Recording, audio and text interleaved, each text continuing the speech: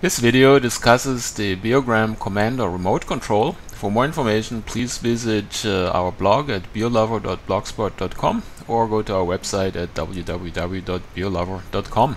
The Commander remote control is an easily installed add-on to Beogram 4002 and 4004 turntables. It works with all DC motor types, so you need to find 551X or 552X on the white type label that is on the bottom of the enclosure. The commander mirrors all functions of the keypad, but it also adds fast scanning functionality and auto repeat. In this video I will first introduce the commander system, then I will show a brief demonstration of the functions, and then I will show you how to install it. This here shows the commander board. It plugs directly into the keypad jack on the main PCB with this header. It is outfitted with an infrared receiver that feeds between the wood plinth and the metal enclosure of the uh, turntable. This is how it interacts with the Apple remote. This here shows the auto repeat indicator. It is bolted into the keypad under the RPM panel. The board is shown configured for the Beogram 4002. This means the jumpers, these three red jumpers, need to be positioned on this header.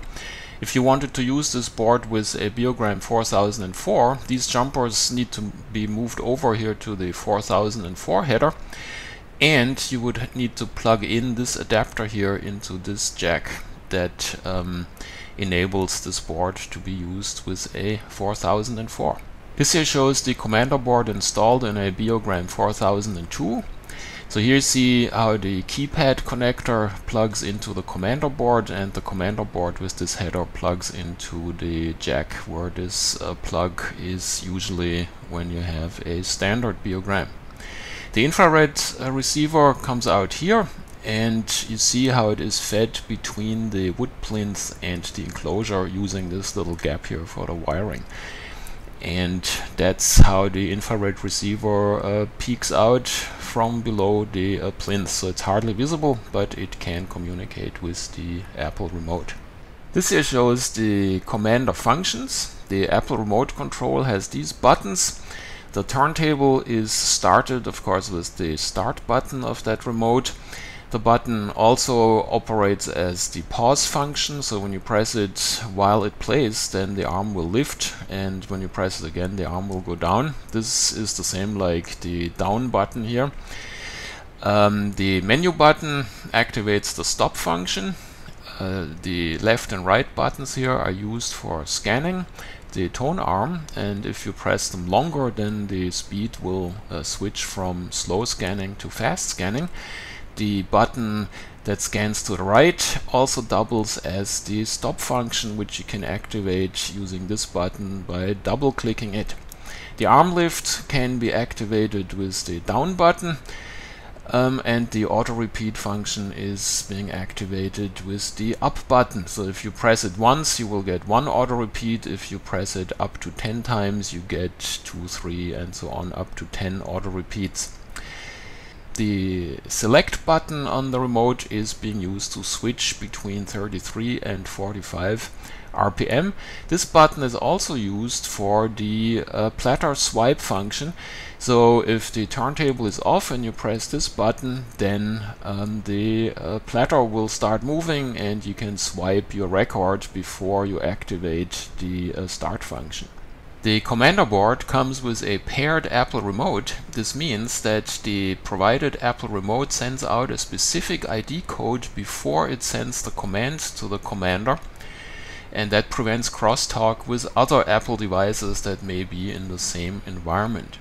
Now it is possible that such pre-existing Apple devices use a remote control that uses by accident the same ID like the commander remote. For this reason we integrated a repairing function that can be activated to prevent crosstalk in such cases. Activating the pairing function is easy. Simply point the remote control at the Beogram then press the menu button and immediately thereafter the select button and hold both buttons down for about 7 seconds until you see the 33 RPM indicator light up briefly in the RPM panel and at that point the ID has been changed by plus 1 and that should prevent any crosstalk to other Apple devices. Okay, how about a brief demonstration? Start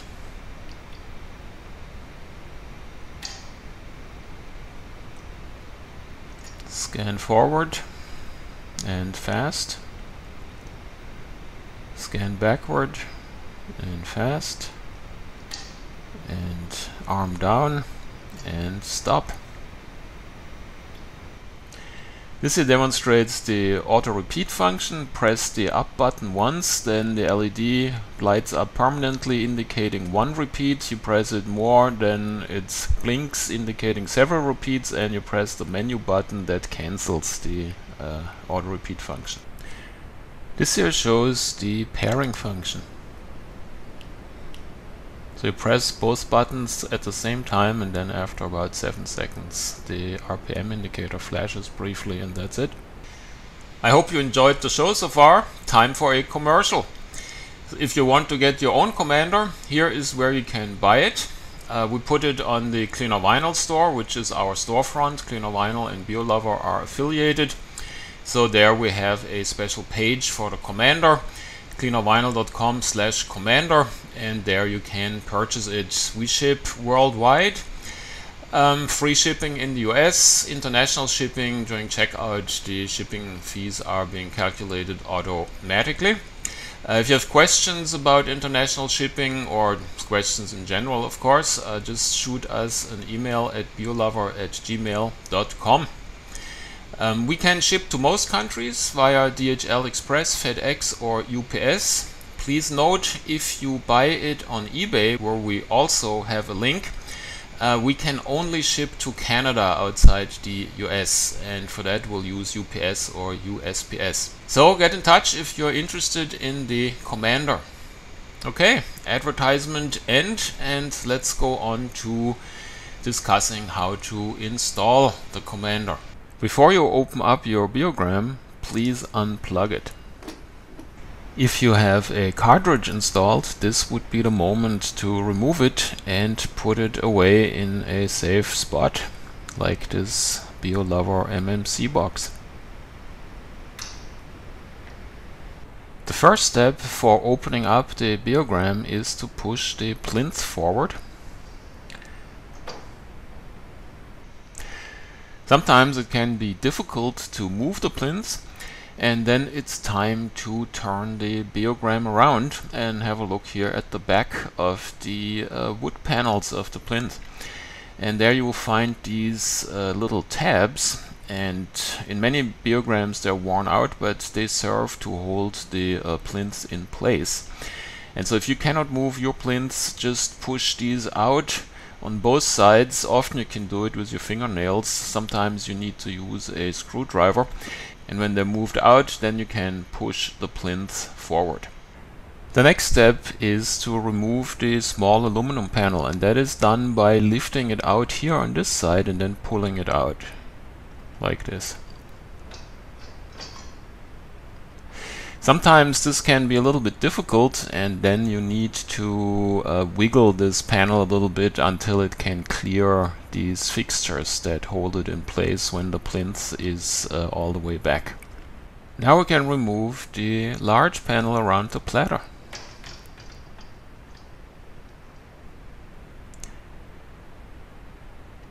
The next step is to remove the platter. And now we can start to put in the commander board. The first step is to unplug the keyboard uh, connector.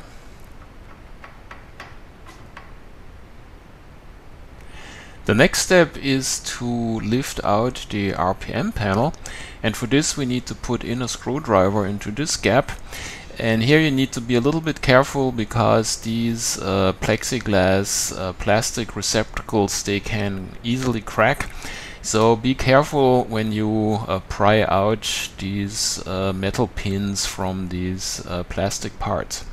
So this here shows how to do it. Here, screwdriver in and up with the panel.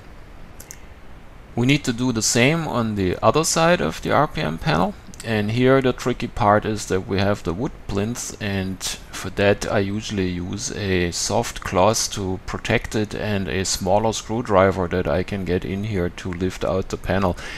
My panel here, or my uh, plexiglass part is already a little bit worn out. This is why this panel isn't entirely uh, down at this point, but this shows the uh, process out with the panel. Now with the panel loose we can extract it. And for that I like to use one of my wife's trivets and that protects the surface.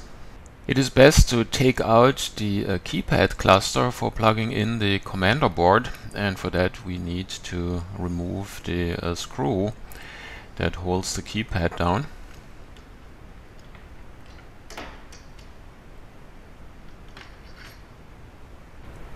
And now you can lift out the keypad. The final disassembly step is to take out the screw that holds the PCB down.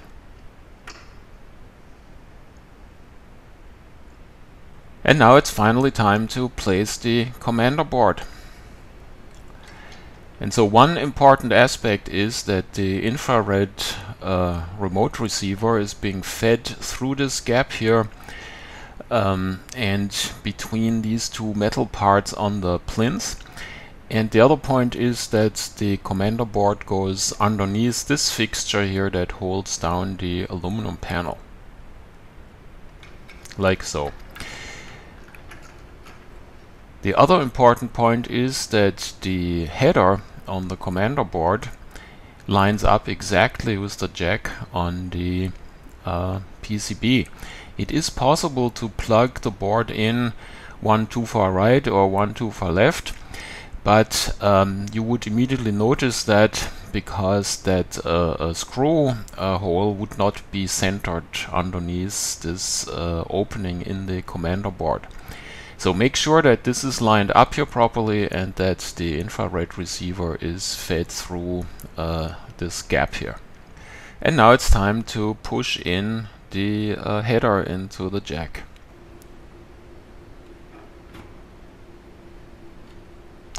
Now we can bolt down the commander board and for that we use this uh, red plug that comes with it. And so the first step is to insert that uh, screw that held down the um, PCB into this uh, red plug. So push it through and then the screw comes out at the end and so then just place the plug. And now just use the screwdriver and bolt that bolt down. And now we can put the keypad back in.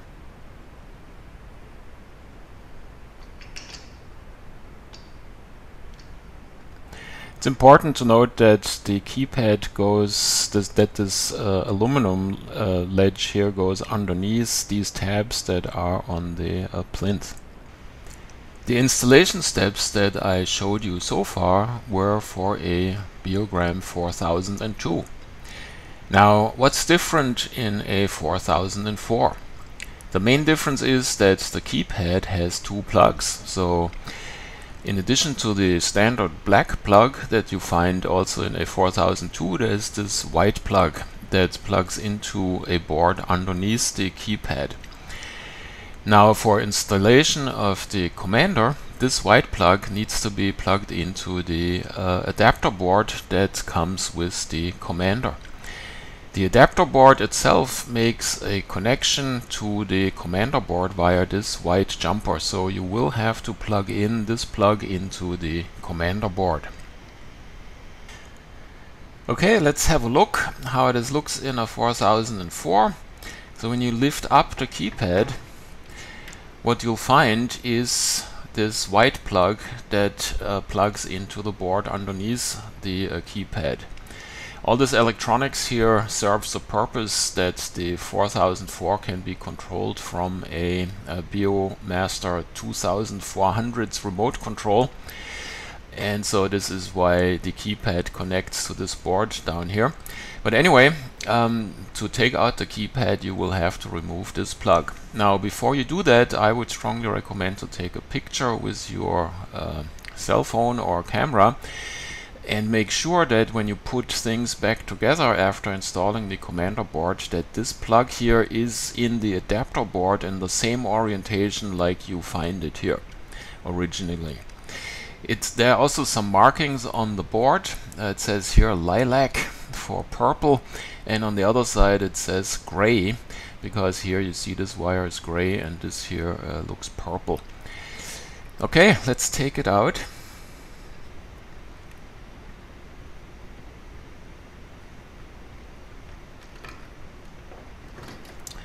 And that's it. Here we see the keypad connectors and the 4004 adapter board that comes with the uh, commander. Now what we need to do before we can put the keypad back in after installing the commander board, we need to plug in the white plug into this adapter. So have a look. This adapter is outfitted with a double row female header. The purpose is that if we plug in the white plug on top here that uh, there is enough uh, clearance between the PCB and the white plug. Okay, plug it into the top row like so. Just align it and push it in. And here, of course, it's again important to note the orientation of this plug. So we want the gray wire on this end and the uh, purple or lilac wire on this end. So you see here this uh, white jumper uh, that comes out of the adapter board. This jumper needs to be plugged into the uh, commander board once the keypad has been put in. Here you see how the adapter plugs in to the commander board with that white jumper. Now there's one more thing uh, we need to change on the commander board uh, for the 4004 it is that we need to move these three jumpers over to this header. You see I wrote here place jumpers here for 4004. Here it says it for 4002. So we need to move these three jumpers over here. And I show that now. So you can just pull them out and put them on this other header. And that prepares the board for the 4004. With the adapter board installed, we can plug the keypad back in and so you need to make sure that this uh, header now is lined up properly with this uh, jack that's on that output board. So once that is in, you can place the keypad carefully on the uh, Beogram enclosure and now it's time to plug in this uh, white jumper wire into this uh, jack on the commander board.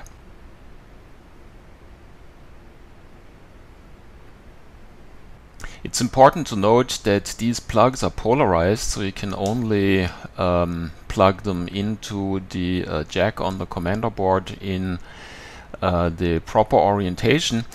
But basically this cable here needs to be flat. So this here has the same orientation like this here. So if the cable here uh, does a 180 from here to there, then this plug here cannot be plugged in here.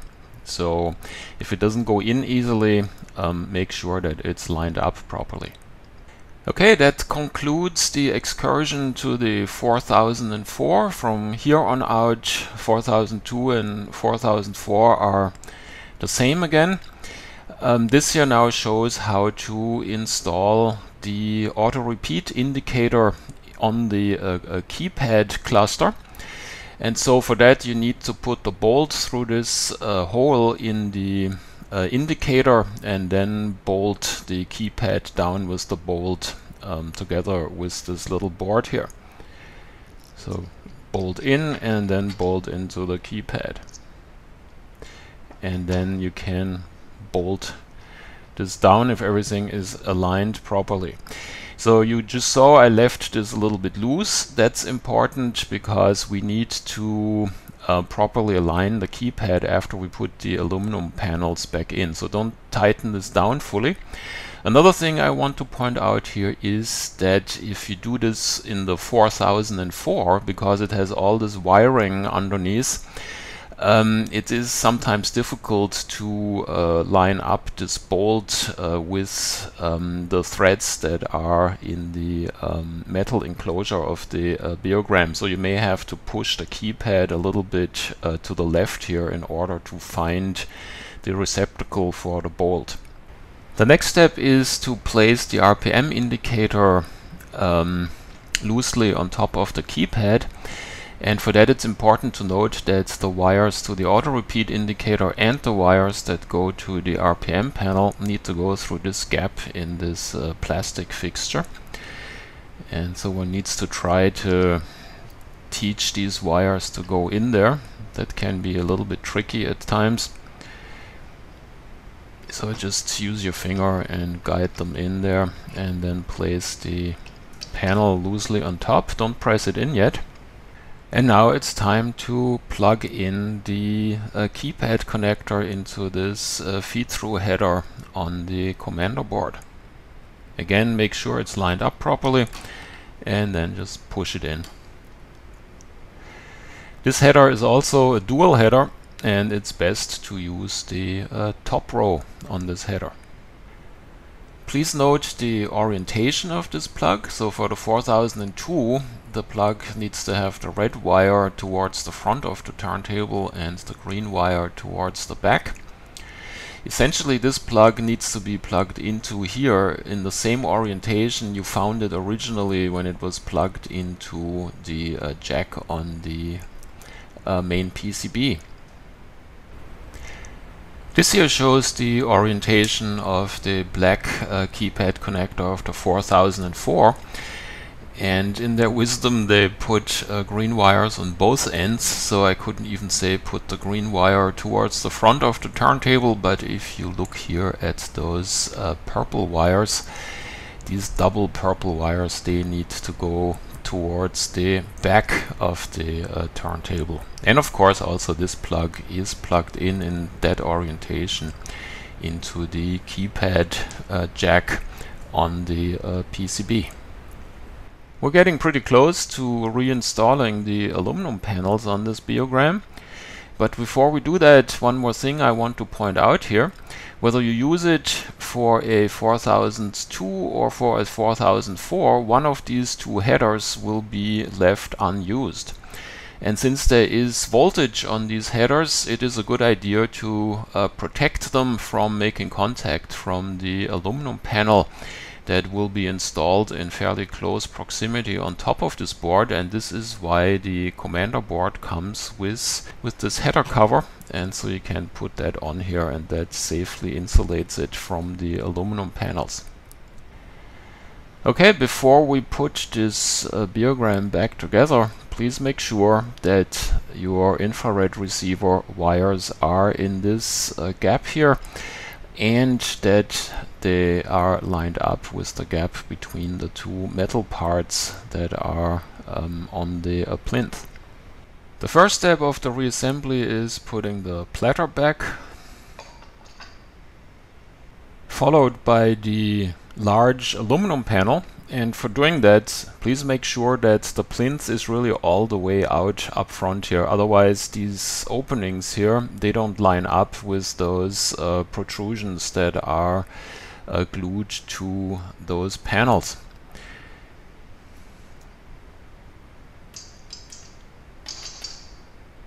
After the large panel has been seated, it's time to put in the small panel. And here there are two things to keep in mind when you do that. One is that there is a protrusion underneath uh, in, on the small panel that needs to mate up with this springy fork here that helps to keep the panel down in, in this corner. And then if you look here, there is this uh, ledge, and so this makes a tongue and groove connection with the large panel. And so when you, while you push this in here, you need to make sure that this here, this ledge here meets with its counterpart on the uh, large panel. And then you can uh, put it in. You just saw that it went in easily, this small panel in my case. Uh, sometimes with some Beograms this can be more difficult and if it doesn't catch properly uh, with those uh, uh orifices on the uh, plinth then um, it may be necessary to wiggle this panel a little bit up and down or left and right. Sometimes also it helps to uh, move the plinth here a, a, millimeter up and down until these orifices catch with the protrusions that are on the back side of this panel. And now with the panels properly seated we can push the plinth back. The final assembly step is to align the keypad cluster properly with the aluminum panels. And so the goal is to kind of get here straight gaps around it. And that can be also a little bit tricky, um, but with a little bit of patience it's not too difficult. So just move it a little bit around and do not push the uh, RPM panel in too early always kind of try to look whether there is the potential that this is parallel up here um, after you push it in and that this here is um, parallel to the uh, main uh, panel. So this can require a few times of force and back here. And when you're when you think that you're close, then it's time to take that panel out again and tighten down the keypad. Now here it's important that this indicator uh, PCB is uh, about uh, vertical here or, or, parallel to the um, to the edges of this compartment. So the LEDs are in the right spot. So you bolt that down.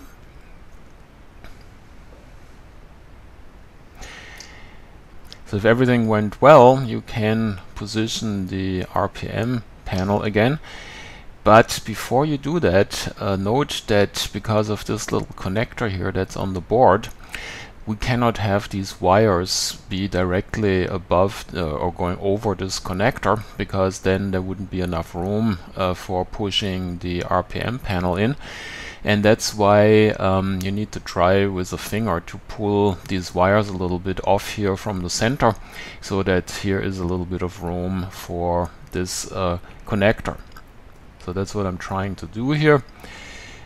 And you will feel this immediately um, when you try to push in the panel. So if it doesn't make these two nice clicks that you just heard, but it's kind of difficult to get it in on both sides, then most likely there's a wire uh, over this uh, plug. And um, uh, so you just need to take that panel out again and uh, move these wires a little bit and try again. But this here now looks pretty good, so it seems we are done with the assembly of this uh, Beogram. And there is one more thing, which is to push this infrared receiver a little bit up. You see here it's sticking out a little bit too far, a couple millimeters. And so what you need to do is use your finger and push it up a little. And that's it, we're done. And now it's time to enjoy this Beogram. And this concludes my video about the Beogram Commander remote control. I hope you enjoyed it. Thanks for watching.